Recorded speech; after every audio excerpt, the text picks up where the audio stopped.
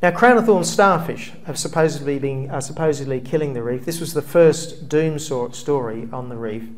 And what is now claimed is it's that fertilizer coming out of the farms produces a phytoplankton boom and feeds the crown of thorns starfish larvae, which causes the, the outbreak. So the farmers are to blame. However, when you actually, um, this, is the, this is the story that's in the 2017 Science Consensus Statement, which the new legislation is based.